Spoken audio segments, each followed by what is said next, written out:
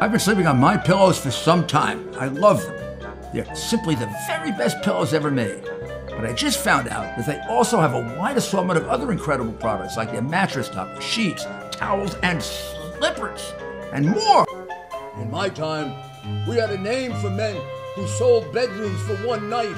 In your time, the name is Terry McAuliffe, and the Clinton flees once and for all.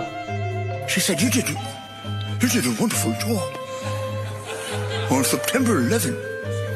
And therefore I'm making you an honorary knight, commander of the Royal something or other. If you've been watching Rudy Giuliani over the past year or two, you might think, man, that guy has fallen so far. He's just he's just gotten so low. How could he drop any farther? Well, he's finding ways. He's got his show and his show needs to make some money, which leads to ads like this. I've been sleeping on my pillows for some time. I love them. They're simply the very best pillows ever made. But I just found out that they also have a wide assortment of other incredible products like their mattress topper, sheets, towels, and slippers, and more. and more.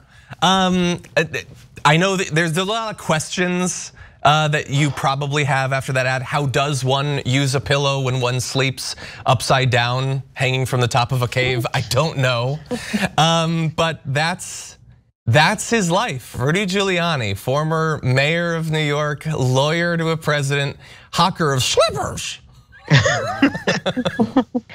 uh, I don't. Just looking at Rudy Giuliani. I don't think he should be selling products advertising a good night's sleep, bathing, or generally being in comfort. Because mm-hmm. looking at him, I'm like, are you getting a good night's sleep? Have you been bathing? Are you comfortable? Because I don't I don't think you are, Rudy. I think maybe you should take a nap on something besides a MyPillow so that you stop looking that bad. yeah, that's good. I'm sorry. Um, I think the good news that everyone should think about is while you are getting exploited by capitalism, going to work every single day, and it's beating you down, at the end of the day, capitalism beats down even Rudy Giuliani. Mm-hmm. because for him to have to be, you know, going out and hawking pillows after all that he's done, he was he was the, the, the attorney, personal attorney for the president of the United States, and here he is. He's got to do what I got to do. I got to put a commercial break in the middle of my show yeah. to make sure I can pay some bills, and so does Rudy Giuliani. So if you're feeling depression from capitalism, just know it's oppressive to the ruling elite as well. They just That's don't want to admit it. Virginia, vote against the man who dishonored our past by selling my bedroom hundreds and hundreds of times to scoundrels in a pay for play scheme. In my time, we had a name for men who sold bedrooms for one night. In your time, the name is Terry McAuliffe, and the Clinton flees once and for all. Cool. What? That that's America's mayor. Um, Almost president. someone in his family needs to lock him in a basement. Mm-hmm. Because it's like kind of an ad. I'm guessing he got paid. I like. Is it oh, better maybe. or worse if he got paid? Better. If he did that for free, better. Like, who is that convincing? So, it's obviously not going to convince a liberal or a progressive or a sane person. So what is it supposed to like fire up the base? Like, yeah, you know, Terry McAuliffe, he's a Democrat. He might become the governor of my state. I wasn't really invested in it for policy reasons. But yeah, there is this conspiracy theory from the 90s. So I guess I'll vote. Bro, you went around pretending as if the election was stolen from Donald Trump. Yeah, but now he's on a That was your grift. that was your grift. Yeah. Like, shut up, right? So that's why I say it's better that he's getting paid. Like, uh-huh. to clown yourself for free is definitely worse. She said, You did, you did a wonderful job on September 11. And therefore, I'm making you an honorary knight, commander of the Royal something or other. I turned down a knighthood because if you took a knighthood, you had to lose your citizenship.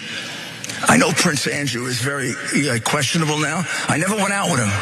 Ever. Never, never had a drink with him. Never was with a woman or a young girl with him. Ever, ever, ever. One time, I met him in my office, and one time when we had the party, right, Bernie? You were there. So he's likely referring to um, Bernie Kerik, uh, the former New York City police commissioner. Um, I, I just want to know, like, who in the audience is laughing at that stuff? Like, And so now he comes and gives this what appears to be a drunk speech because first of all he's mocking the queen. But okay, so I don't care about mocking the queen, but it's kind of a weird thing to do on a serious 9/11 speech. And then he starts riffing. Like now he's having fun, and he's like, and then Prince Andrew. I mean, I mean, I, I never went out for a drink. I mean, I like to go out for drinks, but not with Andrew. I mean, I didn't. I mean, he was in the office. So Bernie, you remember that? Bernie's like, oh, please stop talking, right? And and then he's like, now look, and I was never with the women with Andrew, never with the young women. Who asked? She said, he said, I'm not even sure what the significance of using that word is. Am I a function, functioning alcoholic? No. So apparently you are aware of the significance. That's why you used it correctly in the very next sentence. and also, he's not a functioning alcoholic. He's not functioning. Dude, there's stuff running down your face and things running out of your mouth, okay? You are not at all functioning. The reason why it's an issue is because we can all tell you're not functioning. Come and on. Here's, you know how someone's on. an alcoholic? When they say this, I've never been treated for alcoholism. You know what that means? You can't prove it. You can't prove it. If you ask me, hey, Cenk, are you an alcoholic? That'd be out of the blue. It's got nothing to do with alcoholism, right? And I might say, be defensive because why are you asking me out of nowhere, right? But I wouldn't say, I've never been treated for it.